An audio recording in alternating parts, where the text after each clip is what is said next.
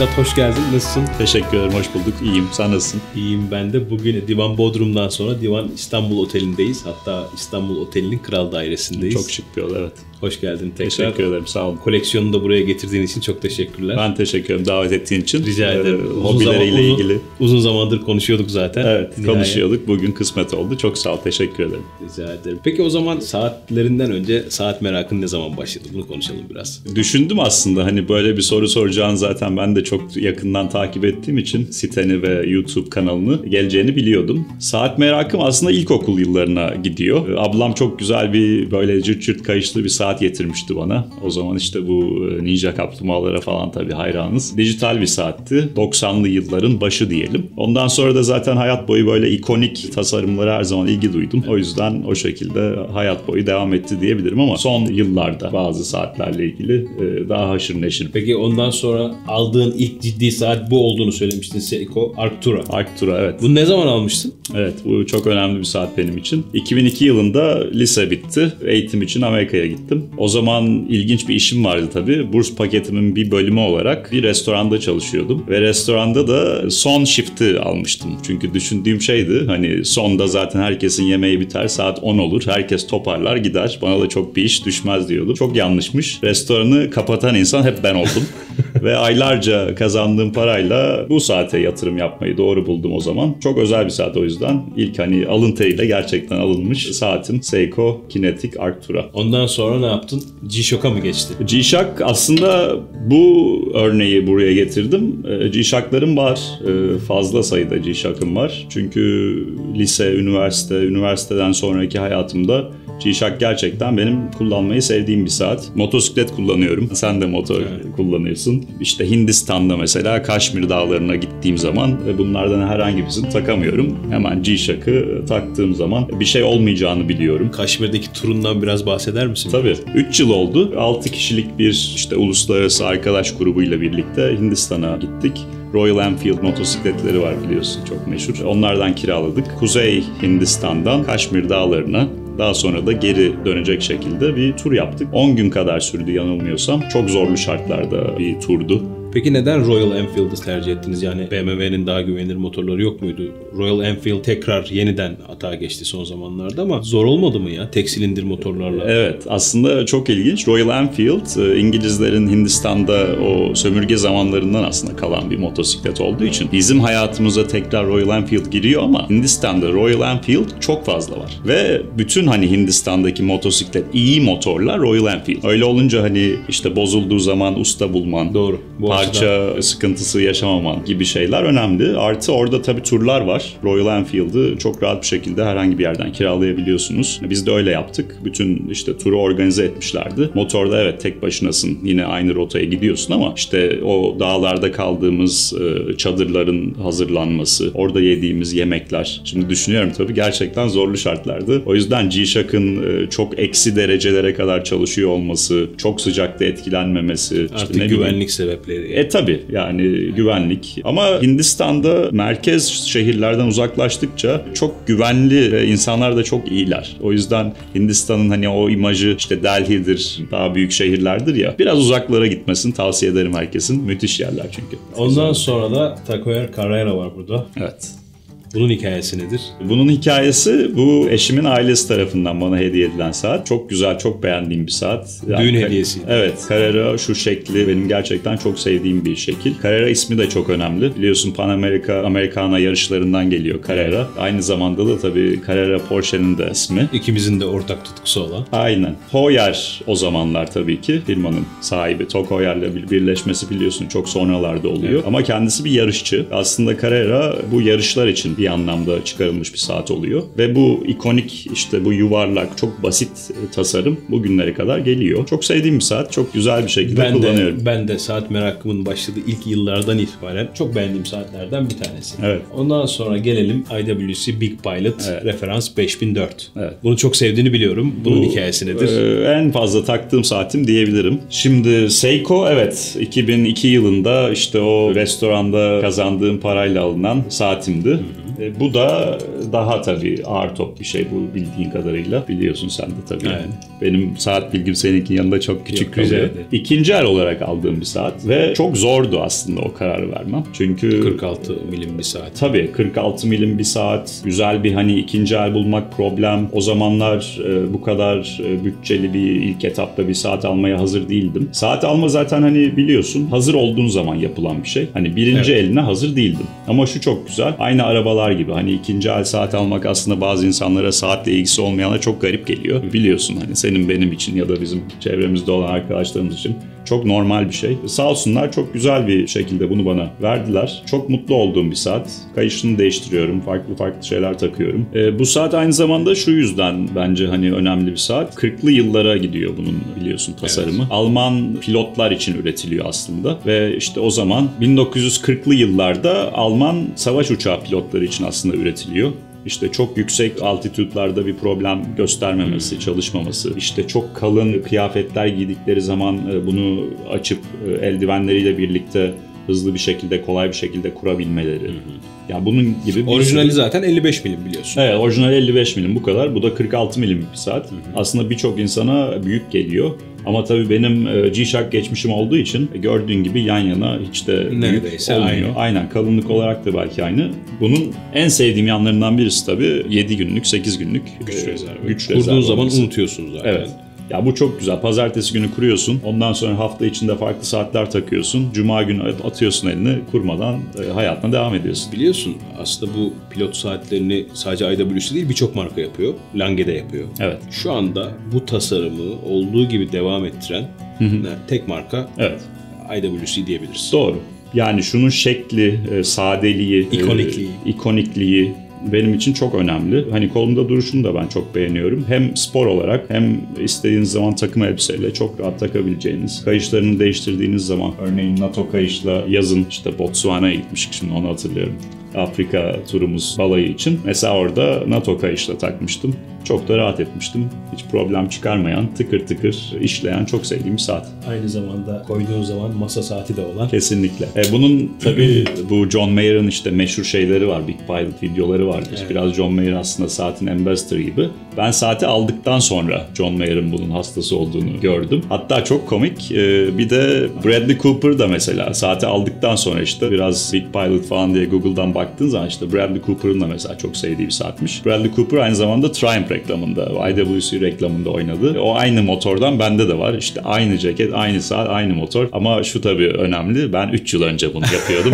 Bradley Cooper çok sonraları başladı. Sonra yine bir IWC var. Portekizer kronograf var ki bu da benim en beğendiğim kadran kombinasyonu. Beyaz kadrana altın rakamlar. Bunun hikayesi nedir? Bu aslında Ahmet eşimin saati. Çok severek eşime hani aldığımız bir saat. Ben de tabii arada bir takma zevkini Peki yaşıyorum. bunu kendisi mi seçti, siz mi seçtiniz? Kendisi seçti. Ee, Daha büyük saatleri seviyor. Tasarımcı zaten kendisi. O da ikonik tasarımları çok çok sever. Yani toplasam herhalde 5 kere falan takmışımdır ama en azından e, dolabımızda böyle bir saat olduğunu bilmek bile çok güzel. Çünkü Eşin de en az senin kadar zevkliymiş. Bunu anlıyoruz Teşekkür burada. Ee, bu Portugieser'ın hikayesi de çok ilginç. IWC'ye iki tane Portekizli denizci sipariş vermişler. Denizde kullanacaklar. Tabii bunun işte çok güzel çalışıyor olması. Ee, 1900 zannediyorum 39-40 yıllarına dayanıyor Portugieser'ın hikayesi. O yüzden çok büyük bir geçmişi var. Çok özel bir saat. O yıllar içerisinde şu ikonik tasarımını değiştirmemiş bir saat. Evet. Hem bunu çok seviyorum hem 8 gün rezervli olanı çok seviyorum. Umarım ileride bir gün onu da koleksiyona e, ekleme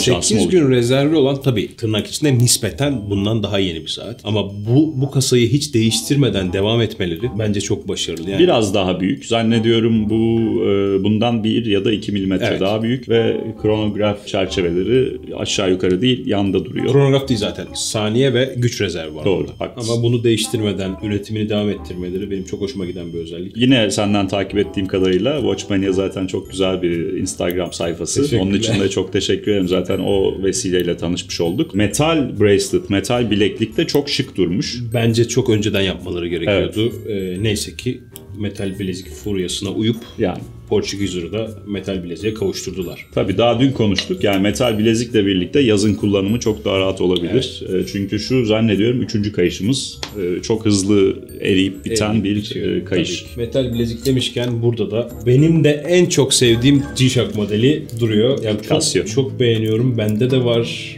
Bunu ne zaman aldın, neden aldın? Neden aldığım belli zaten. Kült bir tasarım. Ama Ee, sendeki hikayesini dinleyelim. Bu bu özel bir G-Shock. 35. yıl G-Shock'ı.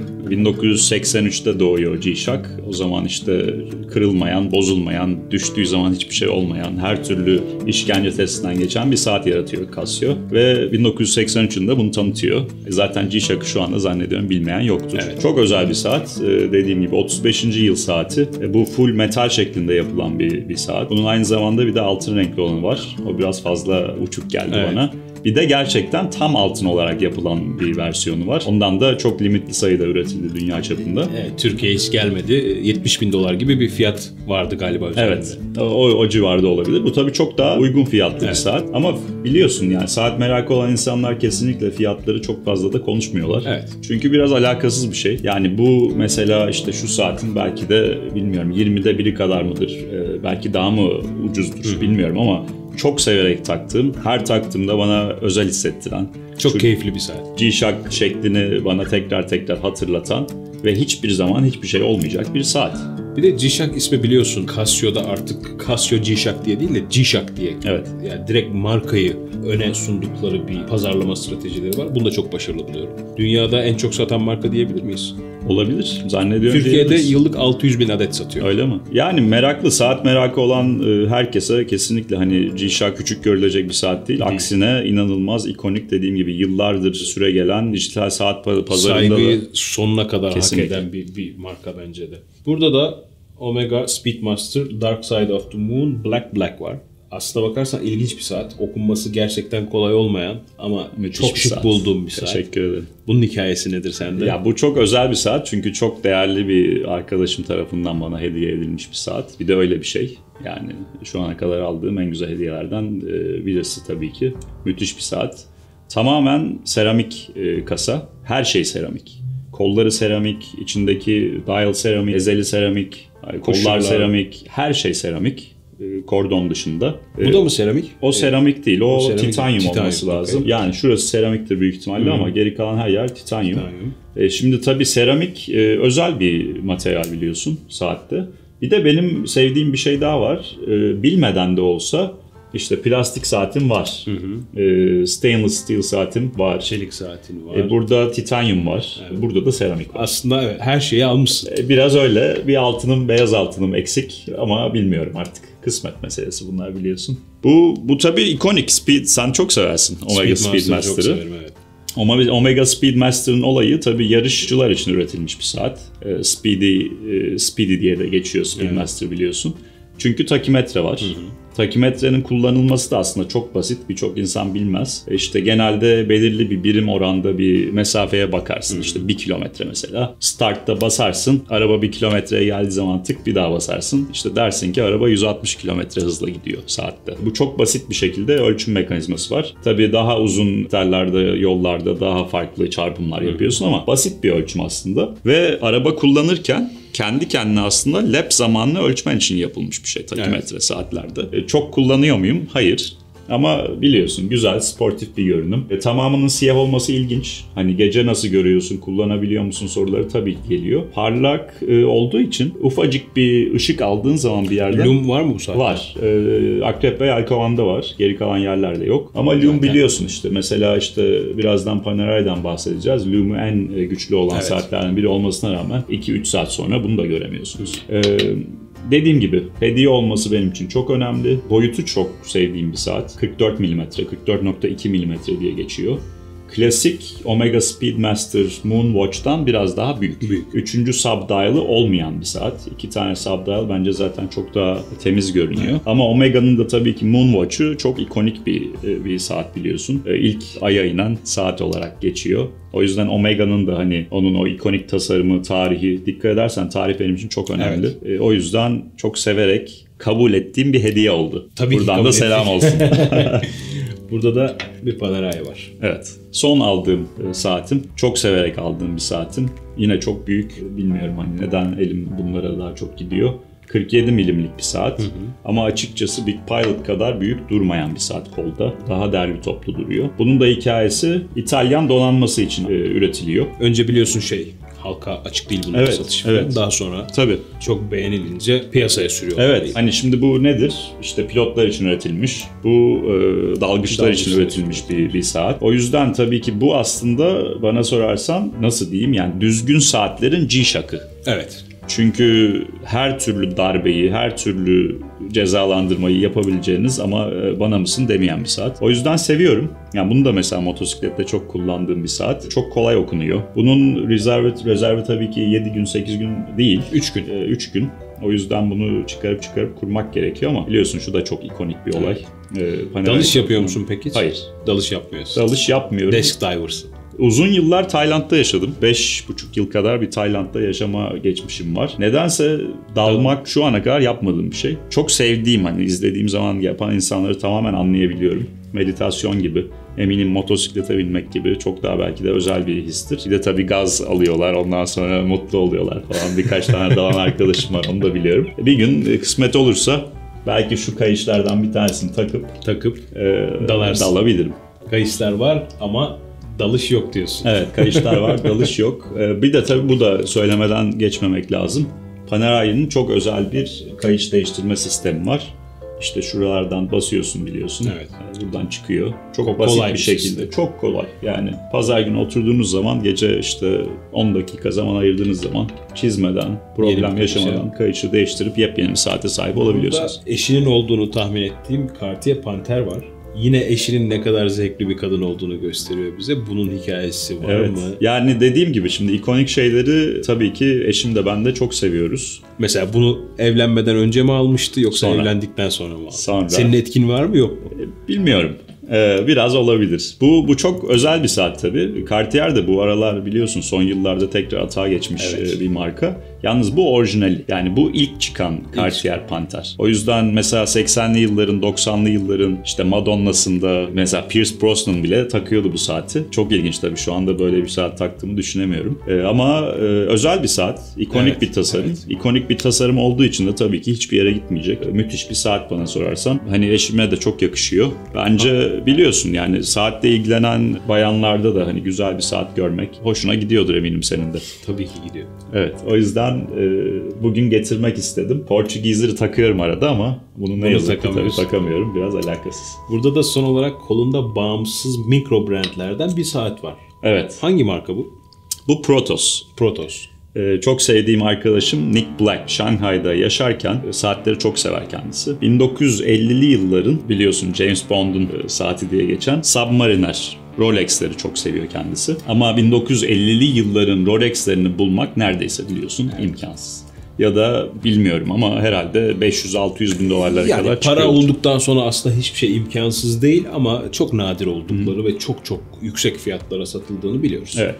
Ee, bu da zaten ilk e, Submariner'a çok benziyor. Evet, onu anlatayım biraz. Şimdi Nick araştırıyor, araştırıyor. Tabii istediği tarz bir saat bulamıyor. Ondan sonra diyor ki ya peki o zaman neden yapmıyorum? Zaten Şanghay'dayım. Hani burada Çin'de yaşıyorum. Ee, çok da zevkli bir arkadaşımdır zaten kendisi. Uzun yıllar birlikte çalıştık. Ya bulabileceği en kaliteli materyallerden bu saati bir araya getiriyor. Evet.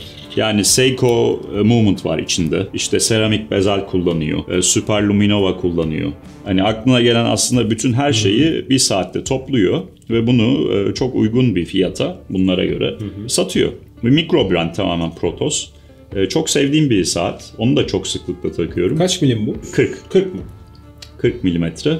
Dikkat edersen hani Submariner'de 1950'lerden sonra şu kırmızıdan artık vazgeçiyorlar. Evet. Ama o kırmızı detay mesela işte akşam olduğu zaman, gece olduğu zaman içinin yeşil, şu noktanın mavi parlaması. Çok bilmiyorum. Özel bir saat ve saat severler için bence müthiş bir opsiyon. Kesinlikle, kesinlikle. Bu arada gerçekten çok da güzelmiş. Çok da beğendim bu saati. Teşekkür ederim. Temin edebilirsin. Bir tane de sana alalım. Peki. O zaman Esat çok teşekkür ediyorum. Ben teşekkür ederim. Sağ ol. Bugün güzel bir Kral Dairesi'nden, Divan Oteli'nin Kral Dairesi'nden seslendik Evet. izleyicilerimize. Umarım bu bölümden keyif alırlar. Ben sohbetten şahsen çok keyif aldım. Ben de çok keyif aldım. Çok teşekkür ederim tekrar davetiniz için. Kamera arkasındaki arkadaşlarıma da tekrar Rica teşekkür ederim. ederim. Zaten sonraki videolardan bir tanesinde de senin Porsche merakını konuşacağız. Bunu biliyorsun. Evet, teşekkür ederim.